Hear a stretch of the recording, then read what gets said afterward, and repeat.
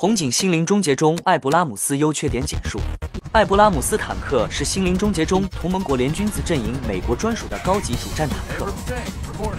凭借其厚重的装甲、威力强劲的125毫米主炮和高科技的自瞄系统，让它在应对坦克单位的袭击时异常轻松。装备的一对土星激光炮能够有效杀伤敌方步兵单位。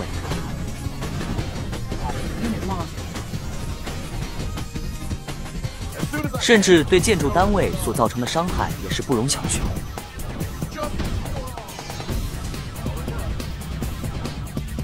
也可以进入坦克碉堡内对外进行攻击。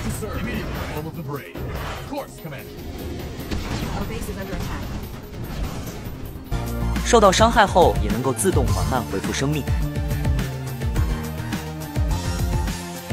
且能够在移动状态下进行攻击。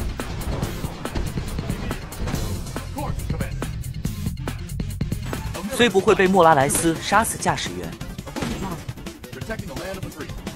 但会被空降劫持者直接劫走车辆，也并不具有对空能力，无法对空中单位进行打击。